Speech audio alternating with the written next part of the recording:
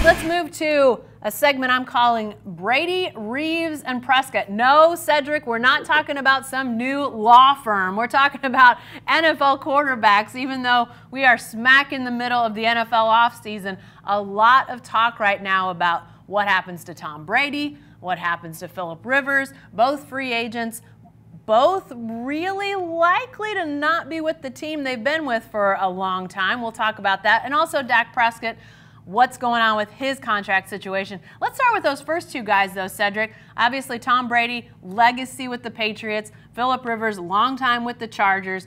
Are either of those guys with those teams when the new season begins?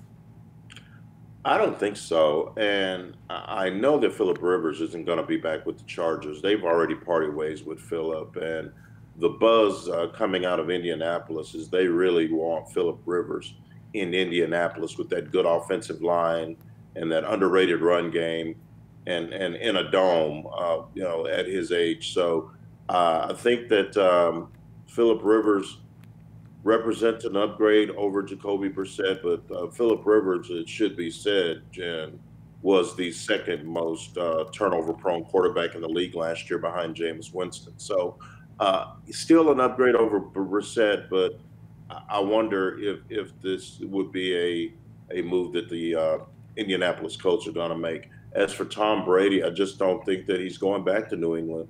He was at a game, I think it was a Knicks game with Jimmy Fallon and Julian Edelman, his teammate, and they were and they were on the jumbotron, and and someone said you know started chanting one more year or something like that for New England, and Edelman was kind of egging him on a little bit, and Brady kind of gave Edelman the, the "What are you doing?"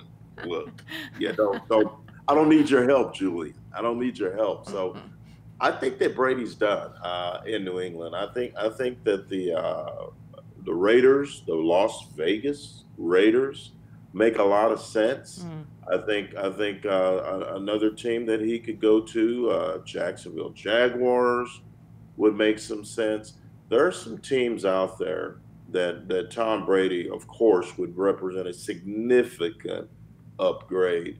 Um, where he goes remains to be seen. The Colts would be another yeah. one. So yeah. um, I don't I don't think he comes back to New England. I think the Belichick Brady era is over.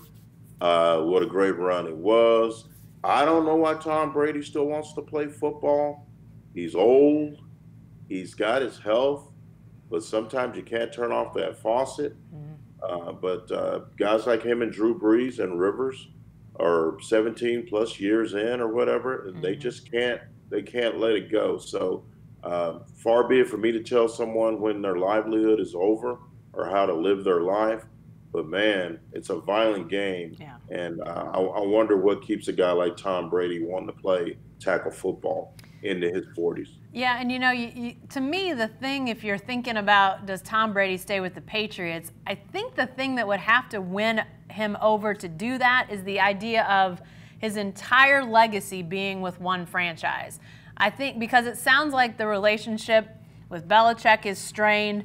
They don't have the offensive weaponry, the, the offensive line. They don't have the pieces around him that they used to have. Not to say they couldn't get there, but He's not looking for a, a, building project. He wants to continue to be at an elite level right now. So I'm just not sure that there's enough reason to, to keep him there beyond the legacy piece of all those years, one franchise with all the success that he's had there in New England.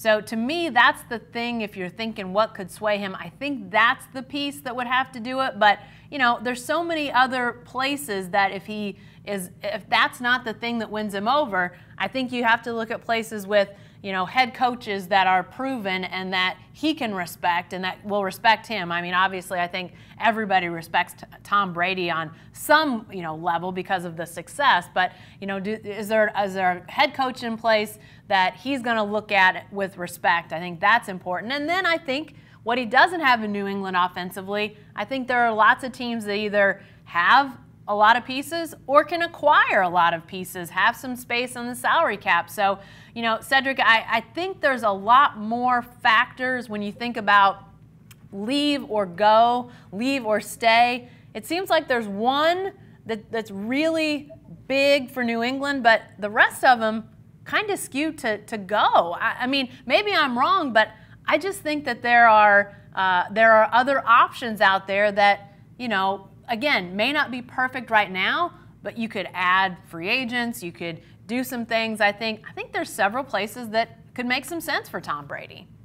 Yeah, and that thing with the legacy, I, I don't think that Tom is looking at it that way because why else would he would he entertain leaving? Uh, I do know, having grown up, uh, seeing Franco Harris in a Seahawks uniform was weird.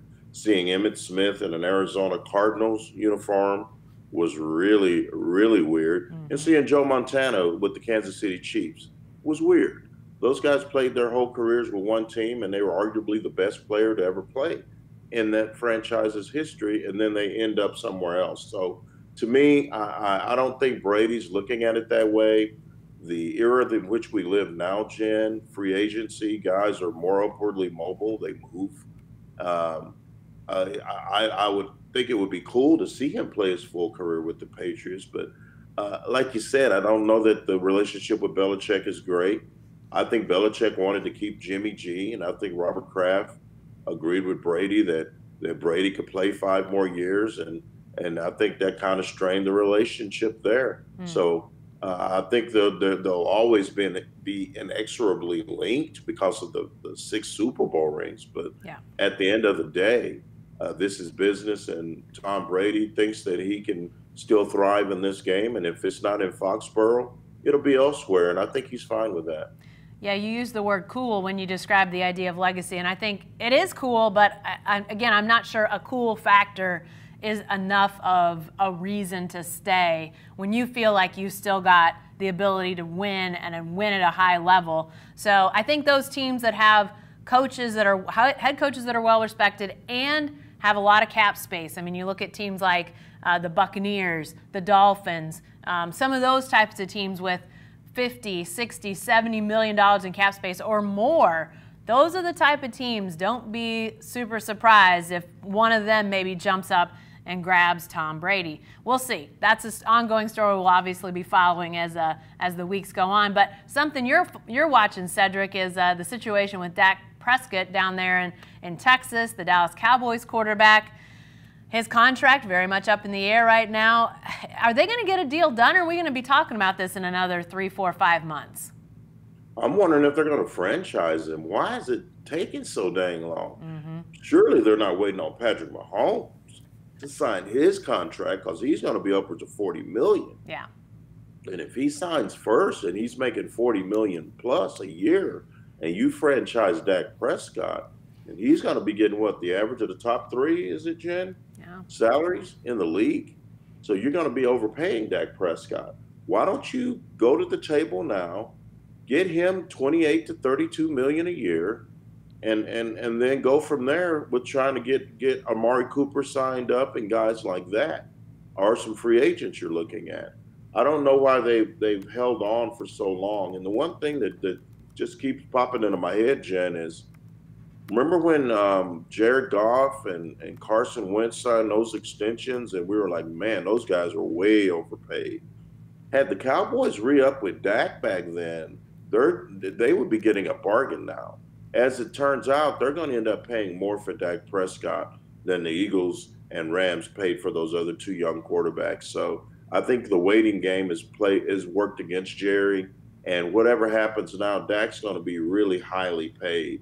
They're not they're not going to they're not going to just part ways with Dak Prescott. They're going to sign him up and he's probably going to get franchised and he's going to be making about 35 million a year yeah yeah i, think he's going to make big money but yeah I, I don't know what the hangup is either um, you know, it's interesting. We, uh, we had a, a, a, ceremony here about a week or so ago uh, for the Oklahoma Sports Hall of Fame. Buddy Ryan, the longtime football coach, is going in. Well, his sons, Rex and Rob, who are well known in NFL circles, much like Buddy is, they were in town for the uh, announcement of that induction class. And uh, I believe it was Rex who uh, brought up Dak Prescott, and uh, so complimentary of him Rob was obviously uh, still coaching, still coordinating in the league last year. Uh, really spoke highly of what he saw out of Dak Prescott too. Uh, you know, talking to both of those guys, listening to both those guys, there's no doubt that they, as defensive minded coaches, defensive coaches, they look at Dak Prescott and say, this guy is one of the top quarterbacks in the NFL. And the Dallas Cowboys have got to get him signed, got to keep him under contract, got to build around him. So for you know to hear them talk about that and then to see this contract negotiation continue to you know languish at least at least outwardly. You know we're not getting any indication that there's you know a ton of movement going on. It's just really odd the way that that uh, that has developed. We'll uh, we'll see if you know maybe they'll come out and announce that the deal gets done quick, Cedric. I don't know, but you know, uh, Tony Romo got paid. It's time for uh, Dak Prescott to get paid too, don't you think? Tony Romo got 17 million, and Dak can't even get can't even get Jerry to the table. I mean, I know Jerry. I know Tony doesn't work for Jerry anymore, but boy, it does not suck to be Tony Romo.